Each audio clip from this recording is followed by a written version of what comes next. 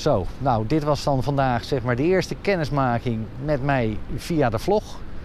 Ik kan nog zoveel meer aan u vertellen, maar ja, dan wordt de vlog veel te lang en dan haakt u af. En ja, daar doen we het niet voor. Dus ja, waar denkt u aan de volgende keer bij Financieel Advies? Jazeker, Paul. Heel goed, heel goed.